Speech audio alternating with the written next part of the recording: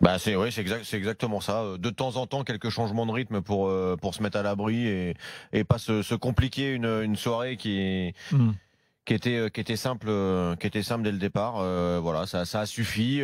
Pas de prise de risque sur un terrain sur une surface de, de, de jeu de, de, de, merde je suis désolé mais c'est le c'est le mot qui oui un, un, vieux synthétique ouais, avec boulette un vieux synthétique où t'as t'as pas envie enfin où t'as pas envie. Tu tu peux pas tu peux pas jouer normalement comme, comme sur sur les terrains voilà où t'as l'habitude d'évoluer.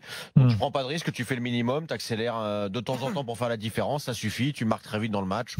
La soirée la soirée est faite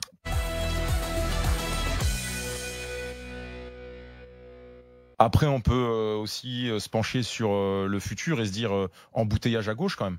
Parce qu'avec le, bon mmh. match de, de, Ferland, Mendy, le retour de d'Hernandez, l'anglais et, et, Samuel Umtiti, comment ça va s'articuler tout ça? C'est aussi intéressant de voir comment, bien, comment, bien. comment l'avenir. Parce que Ferland Mendy peut postuler à. Mais le, c'est quand même souci, un le souci de ce match, en fait, finalement, c'est qu'on a on a vu des petites choses, mais mmh qu'on pourra pas réellement en tirer, en tirer d'enseignement. C'est ça le problème, c'est que même pour le sélectionneur, ça va être compliqué de se dire, euh, voilà, euh, Ferland Mendy a été. D'ailleurs, on a vu un Deschamps bizarrement détendu. Euh, bah oui, oui, il était mort de rire toute la deuxième mi-temps. Tu vois, on a autant, on a, ce soir, il y a quand même dans l'analyse de certains comportements, tu vois, Mbappé, je le préfère comme ça, un peu plus altruiste, avec le sourire. Bah, même si en première période, il a porté un peu le. Ouais, mais tu vois, je l'ai senti un peu plus en phase avec les autres. Quand Griezmann lui a fait la passe D, tout de suite, il a été le voir pour le remercier. ouais, il y avait je plus intégré plus ouais, plus positive. Hmm.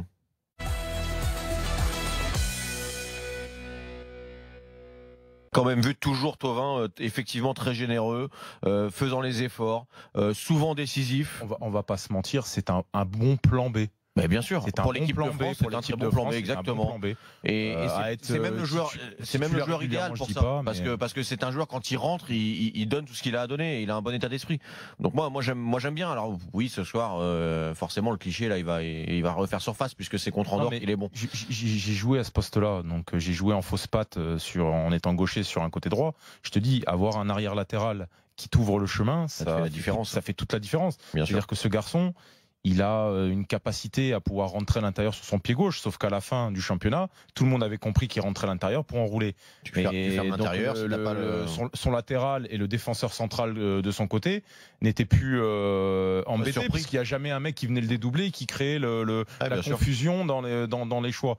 Lui, à chaque fois qu'il rentrait, les deux, il, il, défendait un mètre à l'intérieur et il venait. Alors lui aussi, il n'a pas eu la capacité à se renouveler.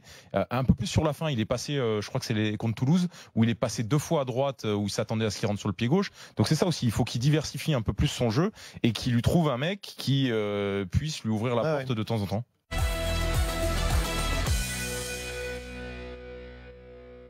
Le, seul, le seul point de, de, de, comparaison avec les autres. Et effectivement, moi, je suis plutôt, euh, je suis plutôt euh, pour, euh, pour faire un premier tri. Et je suis pas sûr que même pour ces petites équipes, ce soit gênant finalement, parce que ça donnerait des matchs intéressants pour elles à jouer. Ça s'est vu en Ligue. Avec une ça vraie. Ça s'est vu en Ligue des Nations d'ailleurs. Il y avait un groupe. Ouais, voilà, exactement. Oui, il y a divisions. où il y a de la compétitivité et, ça, et ça, rend, ça rendrait peut-être ces équipes meilleures pour celles qui arriveraient à passer et, et qui pourraient après se confronter à d'autres équipes plus fortes.